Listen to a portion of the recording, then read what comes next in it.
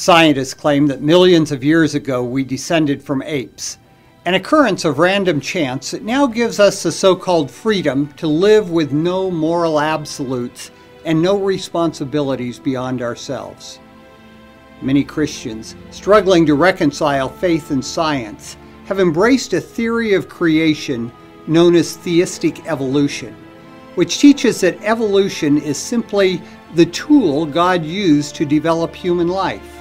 Theistic evolution is now embraced by Christian denominations around the world, and here at home by 48% of Americans. Unfortunately, it disregards God's Word as a source of truth and replaces it with man's interpretation and ultimately dismisses the great controversy between Christ and Satan. Many Christians now believe that the story of a literal creation and a worldwide flood is only a myth. The implications of this trend are staggering. If belief in the biblical creation is destroyed, confidence in the God of the Bible will be destroyed as well. If Christians ignore Genesis, how can we convince them of the importance of the Sabbath, prophecy, and the soon coming Savior?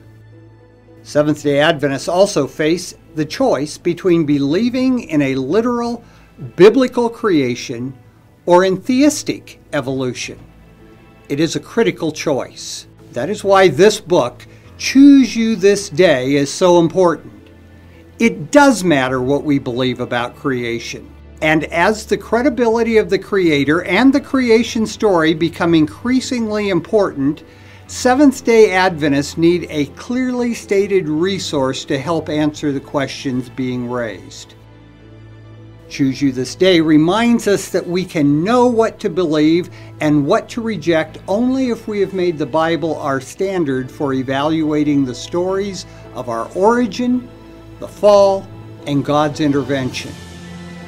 The choice we make will determine on which side of the great controversy we will stand during Earth's final events when Jesus returns to take his children home. There are three ways to purchase this product. You can visit your local Adventist Book Center, call toll free from the U.S. and Canada at 1 800 765 6955, or you can visit AdventistBookCenter.com anytime, day or night.